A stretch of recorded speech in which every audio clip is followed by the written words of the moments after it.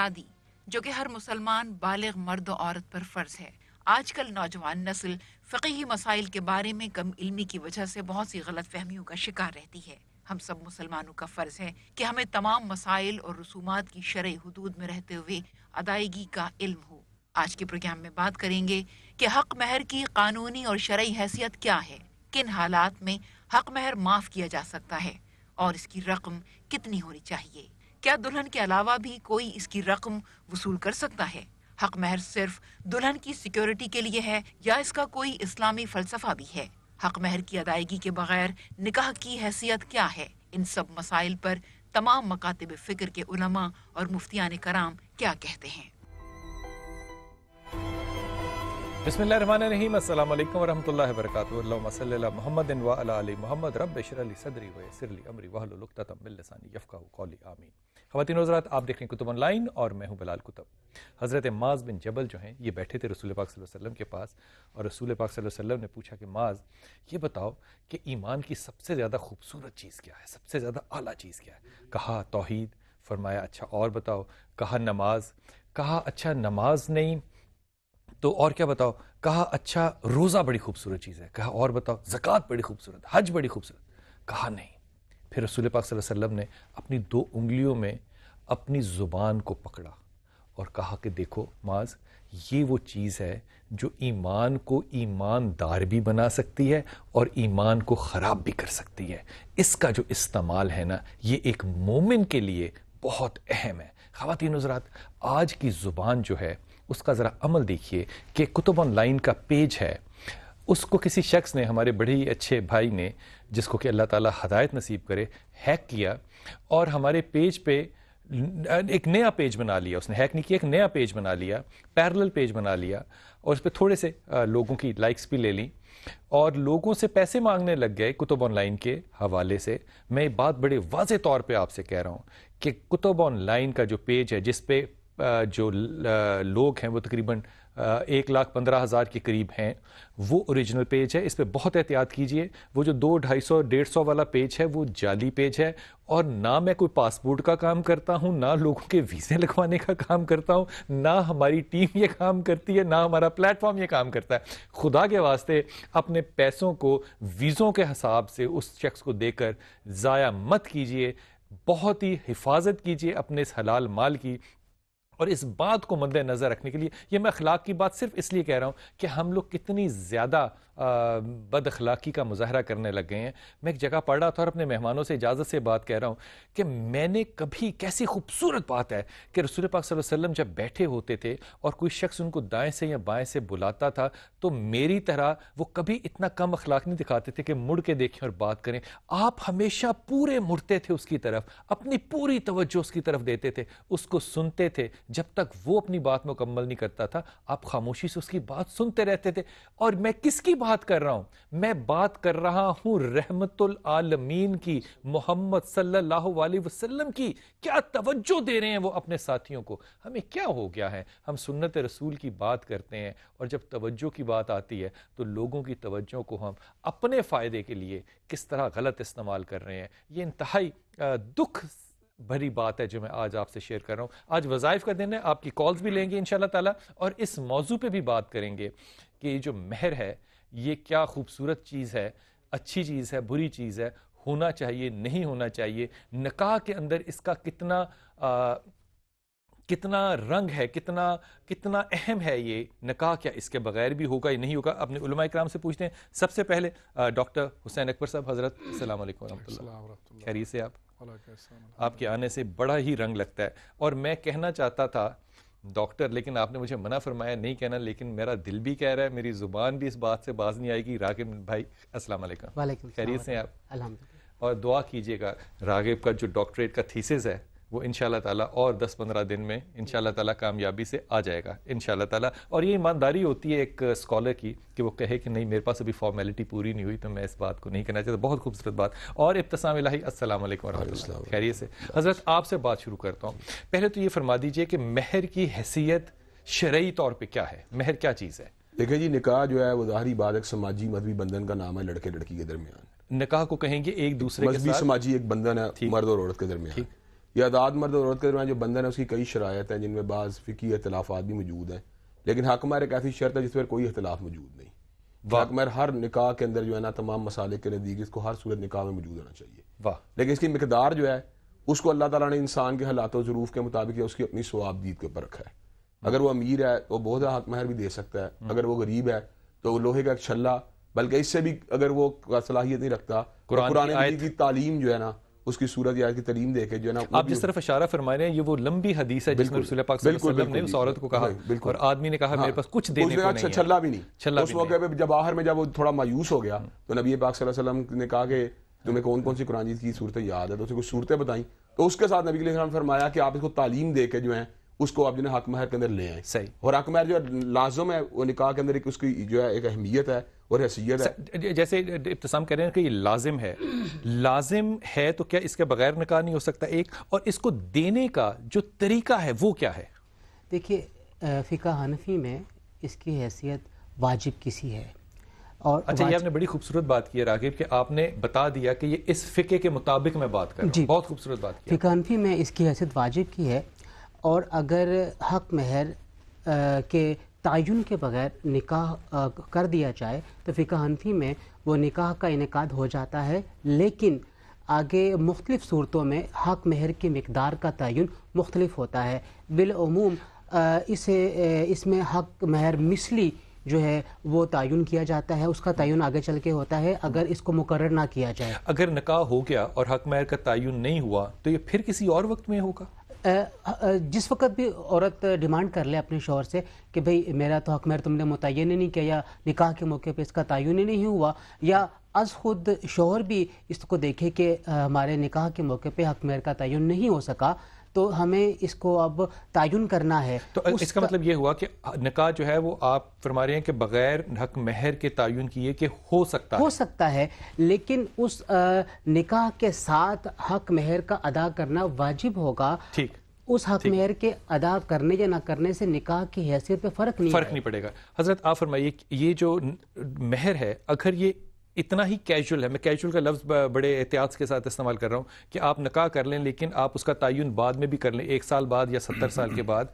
तो फिर इसकी इस्लामी हैसियत क्या होगी? बसमीम कुरान करीम में सूरह निसा में अल्लाह ताला ने वाज़ तौर पर फरमा दिया कि उन औरतों को उनका हकमार जो है या सदाक जो है वो उनको अदा करें। ये मर्द ने करना है औरत को मर्द ने करना है। इसमें मैं थोड़ी सी अर्ज़ करना चाहता हूँ कि निकाह के लिए चंद बुनियादी चीज़ें हैं जिनका होना बहुत ज़रूरी है। सबसे पहले लड़की की तरफ़ से इजाज़त शर्त है। हम्म, यानी ईजाब लड़की की तरफ़ से होगा। नंबर दो लड़की की तरफ़ से इजाज़त और कबूलियत शर्त है। अगर वो राज़ी नहीं है तो निकाह नहीं होगा। ठीक। हक मार का तयन है। ये निकाह की शर्त है। निकाह की शरात में से है। और चौथी चीज़ ये है कि इजाब कबूल का सीगा जो है उसका इजरा। यानी कि उसको अनाउंस भी करना है। नहीं अनाउंस नहीं। यानी उस एग्रीमेंट को बाकायदा लफ्जन भी अदा लफ्जन भी अदा करना और फिर अनाउंसमेंट उसकी आ जाती है। वो मुस्ताबात में भी है या फिर गवाहों की सूरत में। ठीक। जहाँ तक ताल्लुक है नईमी साहब ने जिस चीज़ पर इशारा किया असूली तौर पर हक मार का तयन पहले दिन ही उसी निकाह के वक्त ज़रूरी है। अगर इतफाक़ ये हुआ कि भूल गई दोनों पार्टियाँ और हक मार का तयन ना हो सका अब निकाह का सीगा पढ़ दिया गया निकाह हो गया लेकिन अब मसला आ गया हक मार का। अब यहाँ एक झगड़े की कैफियत बन सकती है हक मार कितना होना चाहिए? मुतयन नहीं हो सका। तो जिस तरह कहा गया कि हक मार मिसली या उसमें ये होगा कि उस किस्म की लड़कियों का सोसाइटी में जो आम तौर पर हकमार मुतन होता है, फिर उसको मेयार बना के वो हक मार दिया जाएगा। उससे पहले दोनों फरीकैन आज़ाद है। यहाँ एक बात ये भी मैं वाजे करना चाहता हूँ। आमतौर पर कह दिया जाता है कि हक मारे शरई रख दीजिए।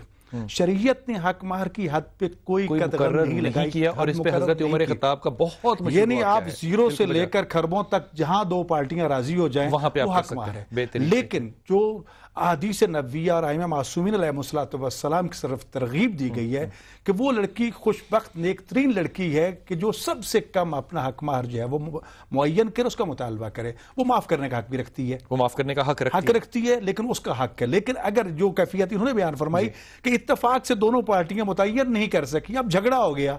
कि जना हकमार कितना होना चाहिए? सीगा जारी हो चुका, निकाह हो चुका, लेकिन अब यहाँ फिर कहा गया कि मारे मिस होगा यानी उस जैसी लड़कियों की सोसाइटी में जो हक मार है, वो उसको दिया जाए। यानी कि एक जनरलिटी में आप देखेंगे, सोसाइटी में इनका कितना महर है, और उतना होगा। हज़रत, हक महर माफ़ करना जरा सामने रखिएगा कि माफ़ कर दिया जाता है या करवा दिया जाता है। फिर आपने जो लड़की को चीज़ें दी आपने कहा ये इसका महर है और लड़की वाले जो हैं अपनी चीज़ें दे रहे हैं और जब किसी भी मामले में इख्तलाफ होता है तो दोनों लोग अपनी अपनी चीज़ें वापस मांग लेते हैं। इस मामले में क्या ये कहा जा सकता है कि अगर ये तय किया जाए तो बरी और जहेज जो है वो हक महर के तौर पे अ, बना दिया जाना चाहिए? नहीं मैं ये बात समझता हूँ कि इसको मैं मजीद जो है ना थोड़ा क्लियर कर देता हूँ कि अल्लाह ताला ने कुरान में ये बात कही है अगर तुमने एक बीवी को हदाना भी दे दिया हो और उसकी जगह तुम एक नई बीवी लेके आना चाहते हो या कोई ऐसी सूरत है यानी उससे तुम दूर आना चाहते हो। तो अगर तुम उसको एक हदाना भी दे चुके हो तो तुमने उसे वापस नहीं लेना। तो अल्लाह ताला कहते हैं ये क्यों कर? मुमकिन है कि तुम उसे मिल भी चुके हो। और उसके बावजूद एक खजाना जो है तुम अपनी नीयत के खोट के साथ या हालात के चेंज होने के बाद जो है उसे इस चीज़ की डिमांड कर चुके हो। हालाँकि तुमने निकाह के मौके पर जो था ना एक अच्छा पुख्ता वादा किया था कि नहीं हुस्न सलूक का और ये जो ये जो महर है हाँ ये। हुस्न सलूक है या क्या है? ये नहीं ये देखें ये निकाह की शरायत में से है यानी कि जिस तरह होता है ना अल्लाह ने कुरान में कहा अच्छा। मैं आपको बताता हूँ अन तब तगू भी अमवालिकुम मुहसिनीना गैर मुसाफिहीना। हम्म। अल्लाह ताला कहते हैं कि जो औरतों से तुम निकाह करना चाहते हो अपने मालों का इवज जो उनसे जो है तुम निकाह करो। इवज से क्या मुराद है? इवज से मुराद है इसको आप निकाह गिफ्ट समझ लें। ये निकाह के मौके पे जो गिफ्ट दिया जाता है और लेकिन वो उसके अंदर एक ज़रूरी है निकाह के मौके पे इस्लाम ने शराय तो लागू की है। गिफ्ट कंपलसरी अच्छा तो ना हुआ ना? अच्छा नहीं नहीं इसके अंदर ये ये जो है ना देना ज़रूरी है। कुएँ कुरान ने इसको देने का हुक्म दिया है। हाँ देखिए इस तरह उसका हक हुआ और मेरा फ़र्ज़ हुआ फिर ये गिफ्ट नहीं हुआ। हक मैं देखिए मैं कुछ और बात कहना चाह रहा हूँ एक ऑब्लिगेटरी गिफ्ट क्या ले। ठीक। ऑब्लिगेटरी का नहीं गिफ्ट का मतलब कोई शरी इस्तेलाह नहीं है। ठीक यानी कहने का मकसद ये है कि अल्लाह ताला ने हमारे पे लादम किया है कि हमने कोई ना कोई मिकदार जो है अपनी हैसियत के मुताबिक या हालात है। के मुताबिक लड़कियों को देनी है। अब माफ़ी का जहाँ तक कंसेप्ट है अल्लाह ने कुरान में कहा इल्ला याफूना व याफू अल्लाह बियादी हुक्मतुन निकाह कि औरत अगर माफ़ करना चाहे या उसका हामद उसे माफ़ करवाना चाहे और उसके अंदर कोई दबाव या कोई ब्लैकमेलिंग का या इकराह का आंसर ना हो हाँ। तो औरत अपनी मर्ज़ी से उसका कुछ पोर्शन या कुछ हिस्सा जो माफ़ कर सकती है। या पूरा भी कर सकती है।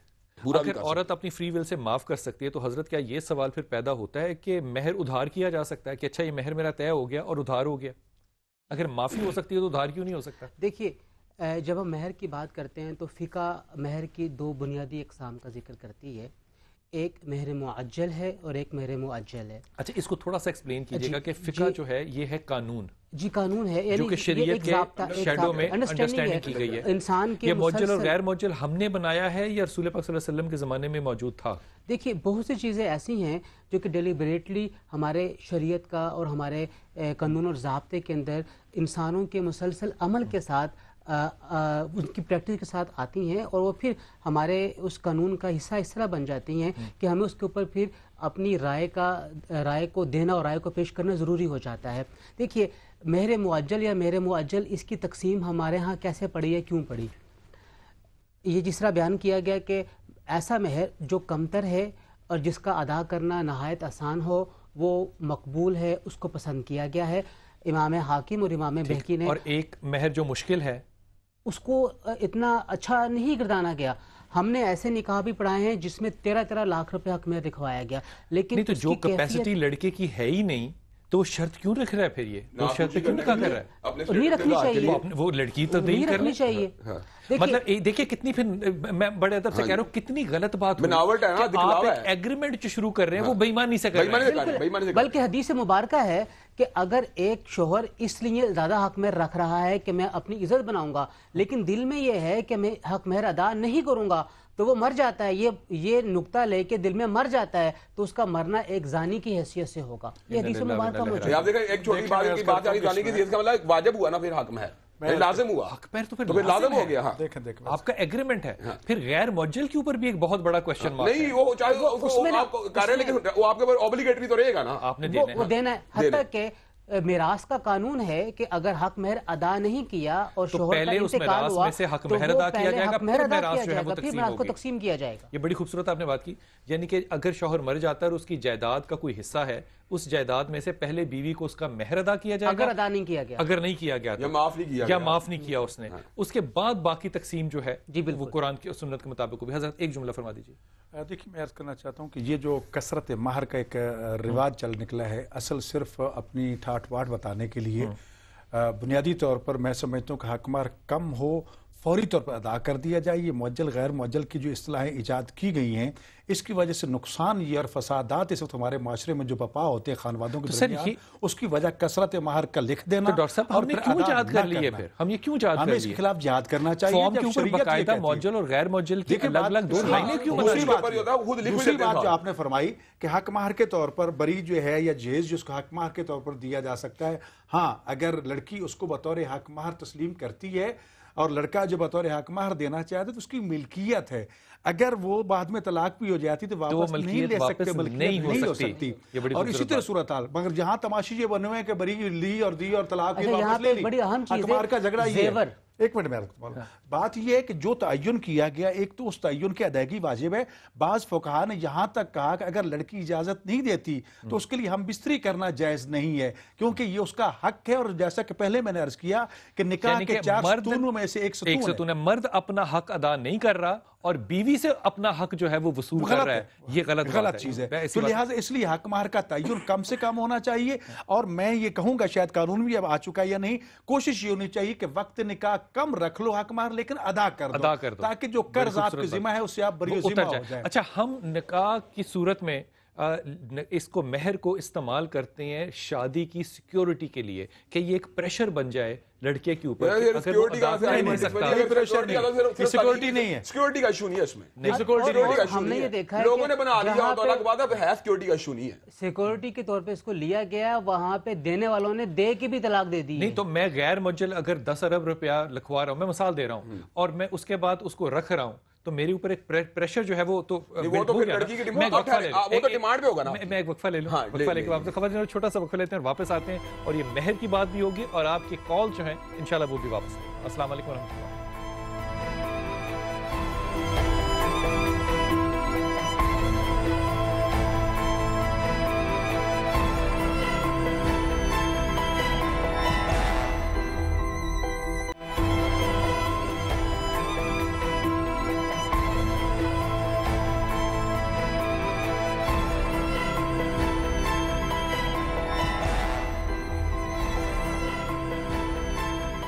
बिस्मिल्लाह बात हो रही है हमारे मेहमानों से महर के ऊपर, लेकिन हम कॉल्स भी आपकी लेंगे कॉलर हमारे इंतज़ार भी कर रहे हैं।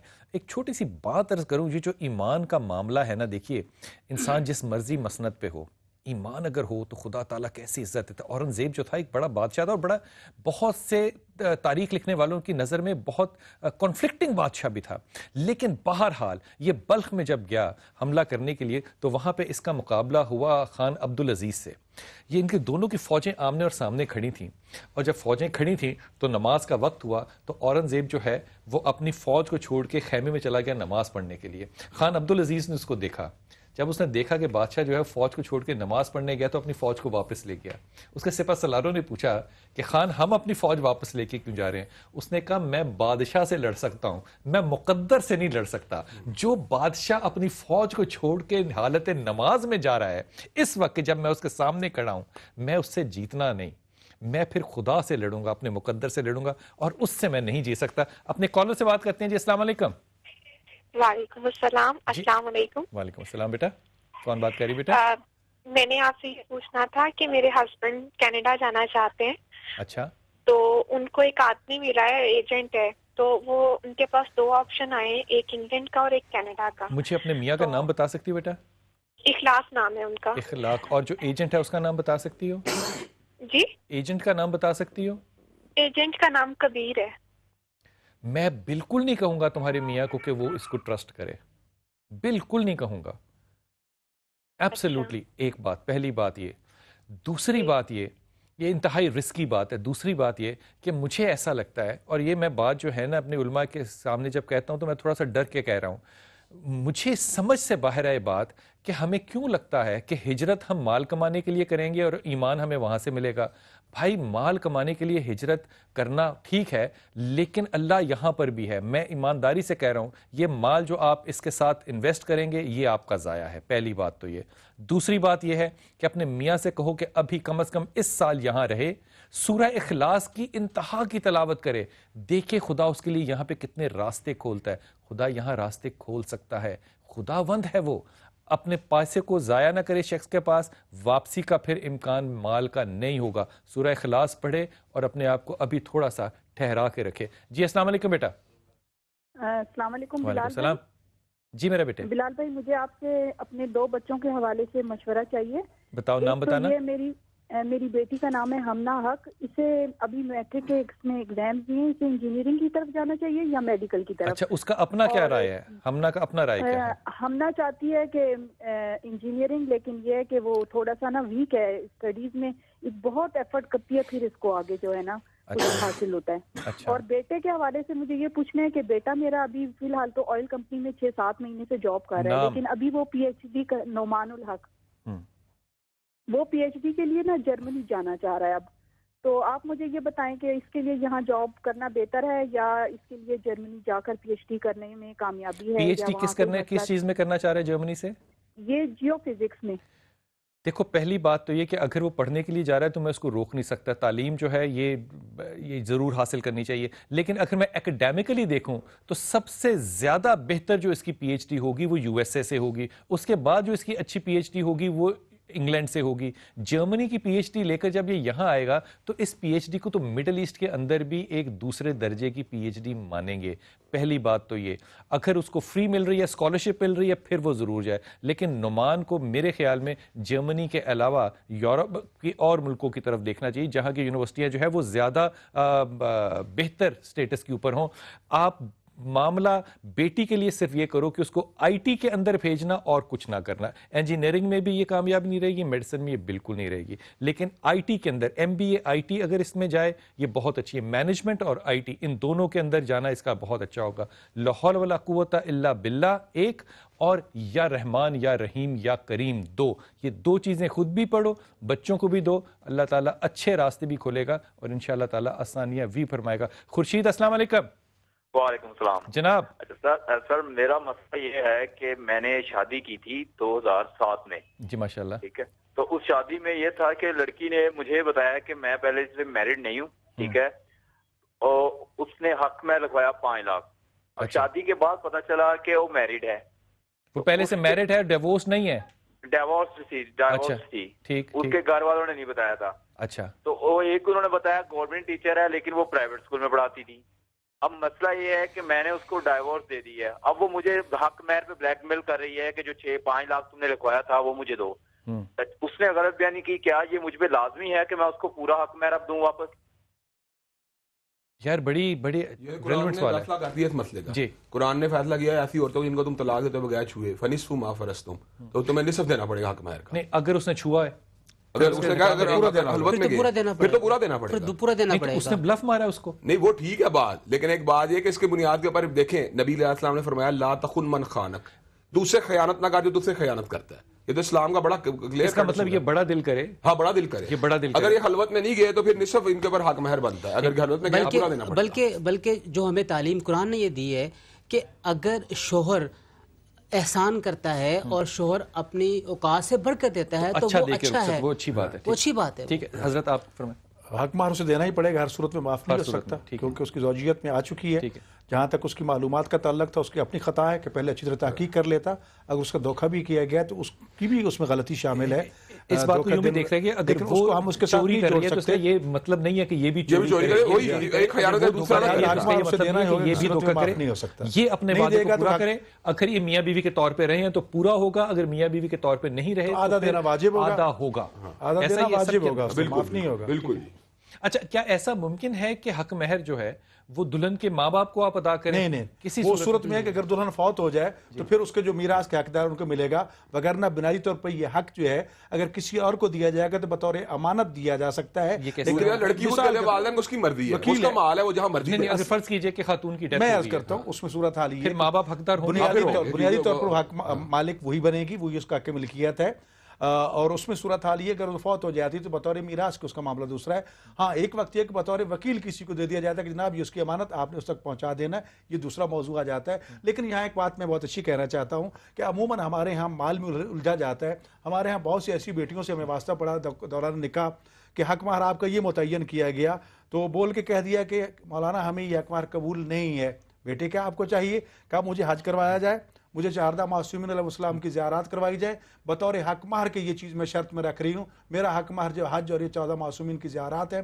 तो इससे यानी इंसान की जहनी सोच भी सामने आ जाती है और इंसान का लगाव खुदा रसूल की तरफ़ भी हो जाता है। लेकिन अगर मादियत के मामले में उलझ के रह जाए तो शरीयत ने बेशक उसकी इजाज़त दी है। लेकिन उसमें जो कसरत माहर की बात अभी हो रही थी तो वो एक और बुनियादी वैसे मुझे ये बहुत बड़ी अच्छी लगती है और मैं आमतौर पर कहता हूँ मैं चाहूँगा कि मेरे बच्चे ऐसा करें कि जब शादी करें तो सबसे पहला जो सफ़र करें वो उम्र और हज का करें। छोटी बात आपकी बात से मिल गई। आपने भी एमबीआईटी का कहना देखे मैं एमबीआईटी छोड़ के दीन का काम कर रहा हूँ। आपने उधर उनको लगा दिया। मेरी अच्छा, हज़रत, ये बताइए, मैं भी मैं भी इजाफा करना चाहूँगा। मेरा भी पहला मास्टर इकोनॉमिक्स का है। अच्छा उसके बाद दीन की तरफ़ आए। माशाल्लाह। हज़रत देखिए दीन की शरीयत में यहाँ हदीस रसूलुल्लाह का अर्ज़ करता चलूँ।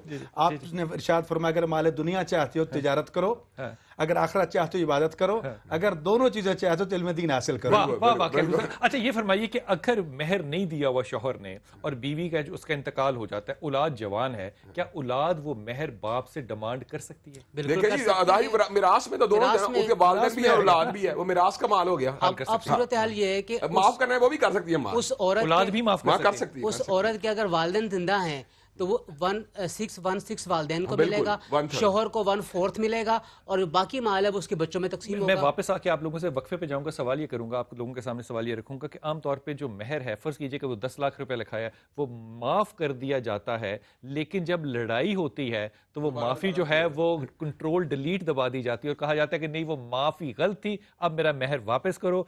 इस अहद शिकनी पे शरीयत क्या कहती है? वापस आइए इस पे बात करते हैं। अस्सलाम वालेकुम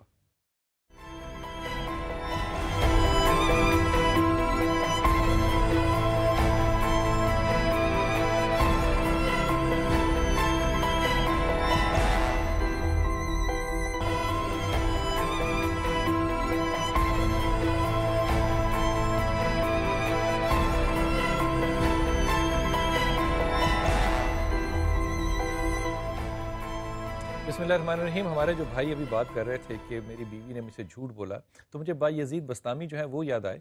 बाई यजीद बस्तामी जो है वो पानी के पास बैठे हुए थे तो उन्होंने पानी में से एक डूबते हुए बिच्छू को बचाया उसने काटा, फिर छोड़ा, फिर डूबने लगा, फिर बचाया, तीन दफ़ा किया।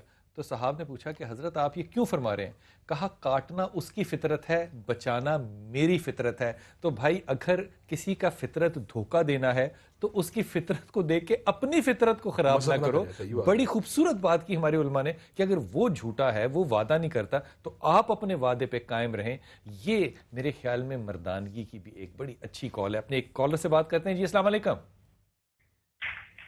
वालेकुम। अस्सलाम। बिलाल साहब मैं समीना उमर बात कर रही हूँ सियालकोट से। जी फरमाइए समीन। मेरा मसला ये है कि मेरी शादी को तीन साल हो गए हैं। जब मेरी शादी हुई तो मेरे ससुराल वालों ने कहा कि आपका हक महर ये है कि आपका जितना बरी में जेवर दिया गया है जिसकी मालियत तब पच्चीस लाख रुपए थी वो आपका हक महर है और उसके अलावा दस लाख रुपए ऊपर हक महर के साथ जाएँगे। जो टोटल पैंतीस लाख हो गया। दो साल के बाद तकरीबन दो, तीन साल, ढाई मुझे अब हो गए कि मुझे, मेरे हस्बैंड ने सेपरेशन हो गई हम दोनों की।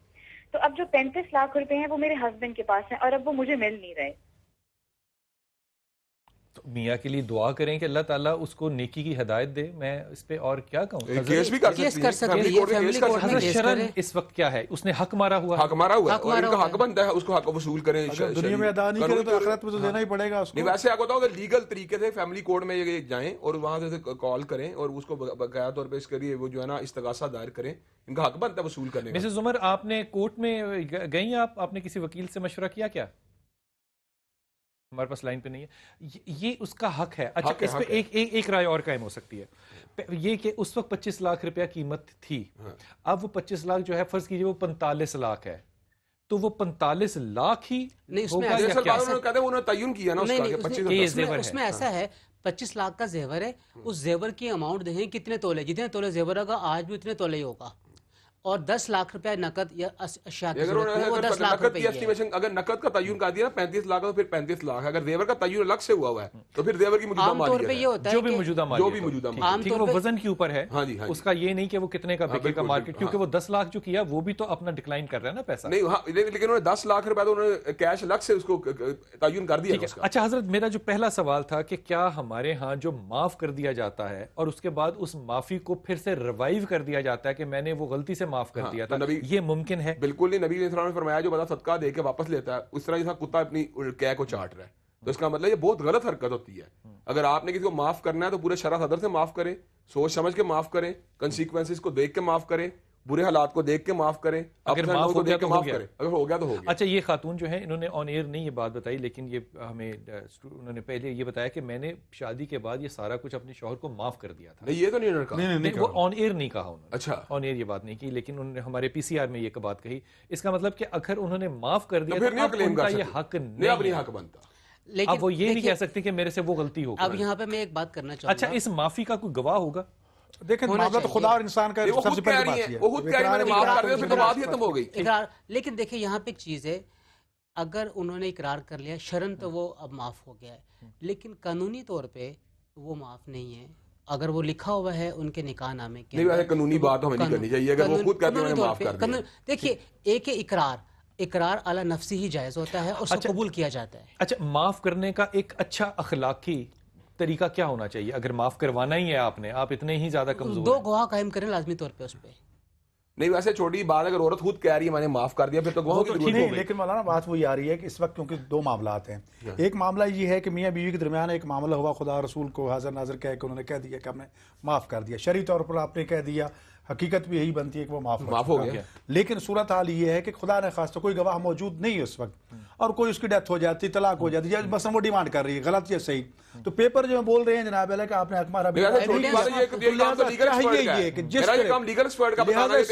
चाहिए कि जब भी ये मामला माफ़ी का बात है तो तहरीर भी हो जाए उसमें ताकि वो जमा हो ये तो लीगल एक्सपर्ट का बताना कि ये इसका कानूनी क्या हज़रत पहलू। हज़रत लीगल क्या- एक्सपर्ट क्या बताएँगे? यही सूरत हाल है वो तहरीर हो जाए। कुछ और बात कह रहा हूँ एक और मुझे मैंने माफ़ कर दिया उसमें डॉक्यूमेंट्स हमारे से क्या लेना देना। है अच्छा, शरी मसला अच्छा, बनाने का माफ़ बड़ी- हो गया। बड़ी आसान बात ये ना हो कि जब नकाह हो रहा हो तो आप महर वो लिखें जो कि आप देने के काबिल ये हैं बिल्कुल, ये बात तो उस वक्त सबसे महर को तो दें बात और है, थोड़ा लिखें और अदा कर दें। हाँ। ये कॉम्प्लिकेशंस उस वक्त होती हैं जब आप इस शरई एक दूसरी नुक्ते में से और छिलके निकालना बात शुरू है करते हैं। एक होता है निकाह के यानी कि अल्लाह ताला ने जो आपको ऑब्लिगेशन दी है एक होता है कि उसको सिक्योरिटी इशू बना लेना एक उसको दूसरे मामला से लिंक कर देना ये लिंकिंग जो है गलत है असल अच्छा इसमें एक बड़ा अहम चीज़ में इशारा करना चाहूँगा जब हम निकाह पढ़ाते हैं तो हमसे कहा जाता है कि जो शरी निकाह हक मेरे वो लिखें आप भाई शरी तो वो होता है जो लड़के और लड़की में रजामंदी हो जाए। बड़ा बदनाम किया है कि बत्तीस रुपए शरई है ये-। खत्म हो गया। है इसका मतलब ये हुआ कि हम माशरती तौर पर लफ्ज शरा को गलत इस्तेमाल कर रहे हैं। कई कई मामला में इसमें ये भी शामिल है। इसलिए मैं यहाँ पे कहना जो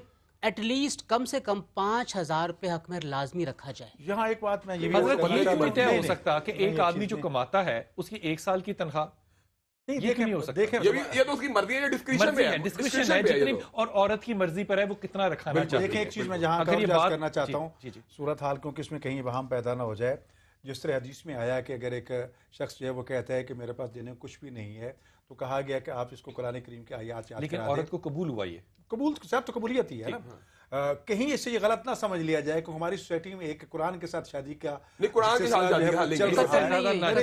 मैं इस बात। वाजे करना चाहता हूँ क्योंकि हमारी सोसाइटी इस वक्त इससे दो चार है कि निकाह कुरान से शादी कर दो फलां शादी कर दो ताकि जो माल मीरास है उस पर कब्जा किया जा सके। इससे कतन मुराद नहीं है। निकाह जो है वो मर्द के साथ ही होगा औरत का मोमना का निकाह मोमिन के साथ होगा मुशरका का निकाह मुशरक के साथ होगा। ये नहीं हो सकता कि एक मोमना के मुशरक के साथ निकाह हो सके और इन हदूद हाँ, वजूद किताब सकता है। से हो सकता है मुशरक तो नहीं सवाल तो ये ना उसमें मुशरिक होते हैं। वक्त बिल्कुल खत्म हो मामले गया में नहीं। तो लिहाजा गुजारिश ये है कि हमें इस मुआशरती बुराई को रोकने के लिए एक तो हक मार का तयन कम होना चाहिए और कुरान के साथ अदा कर देना कर देना चाहिए। कुरान के साथ निकाह नहीं हो सकता, ये होता ही नहीं है। ये मामला नहीं। बहुत ममनून वक्त बिल्कुल कम था। खवतिन ऐसे मसाइल जिन पे आप चाहते हैं कि हमारे यहाँ उलमा जो हैं वो आपके ऊपर आपके तालीम फरमाएँ। मेरी तालीम आज बहुत हुई इस मौजू पे। आप हमें हमारे पेज पे जाके लिख सकते हैं। वैसे जो भी आप चाहेंगे सवालात वो भी हम अगले हफ़्ते से इंशाल्लाह ताला आपकी कॉल्स लेंगे। अपनी दुआ में याद रखिएगा। अल्लाह ताला बहुत आसानियाँ दे और आसानियाँ बांटने की काफ़ी किताब